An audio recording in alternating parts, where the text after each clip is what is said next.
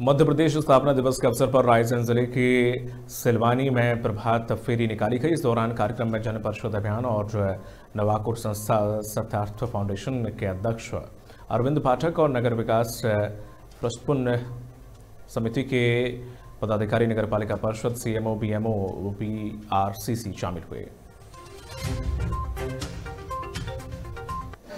स्थापना दिवस पर हमारे सिलवानी से जनविज्ञान परिषद की तरफ़ से एक रैली का आयोजन किया गया। इस आयोजन में सभी जनप्रतिनिधि, शासकीय कर्मचारी हैं बच्चे हैं।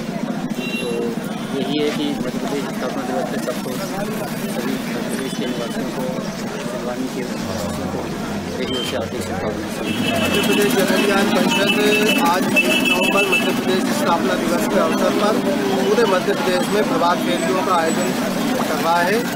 मध्य प्रदेश शासन अनुसार माननीय मुख्यमंत्री जी की मंशा के अनुसार, जिससे हम सभी अपने मध्य प्रदेश के प्रति एक समर्पण और एक कर्तव्य भाव से काम करें अपने प्रदेश के विकास के लिए। हमारे पूरे नगर में प्रभात फेरी निकाली और उसमें एकता का संदेश दिया, जो हमारा मध्य प्रदेश एकता दिवस मनाया हमने। और सभी लोगों का अच्छा सहयोग मिला।